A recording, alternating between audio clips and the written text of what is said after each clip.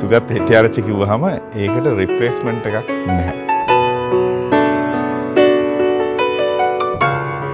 අවුරුදු පහේදී තාතාමට කියන්නේ මුලින්ම.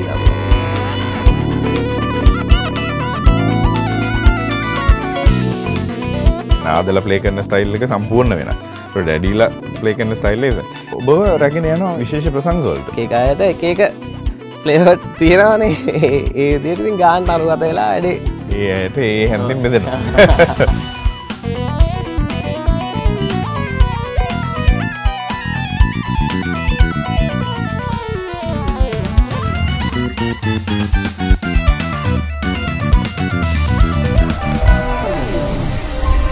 සෙනසුරාදා රාත්‍රී නමයට